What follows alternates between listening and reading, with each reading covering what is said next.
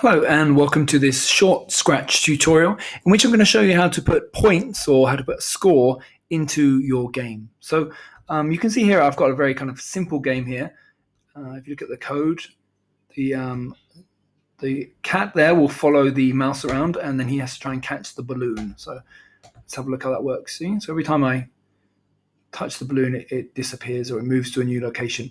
What I don't have is a score, okay? And that's what I want to put in now. I want to add a score to this. So adding score is a little bit difficult to find um, when you don't know, but once you know, it gets very, very simple. So you need to go down to the side over here that says variables, okay? And you need to make a variable, okay? So you click on this, and then this will be the, the name of you can either write points or scores, or you might have another another name for it. So I'm just going to go with points. Okay.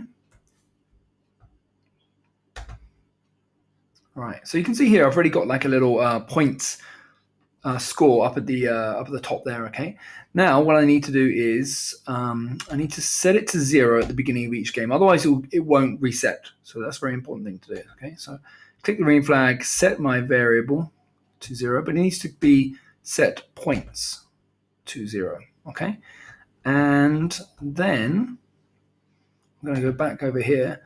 So you can see over here, um, this is the code that I have when the cat touches the balloon, and that makes it the, the balloon go to a random position. But I'm also going to change the score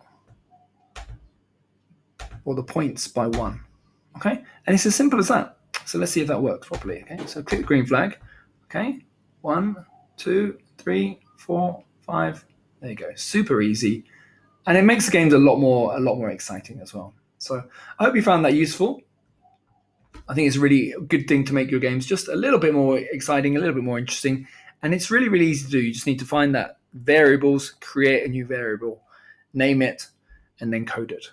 I hope you've enjoyed this video, nice and short, nice and easy. And uh, if you like it, please click like. Remember to uh, leave a comment and be sure to subscribe.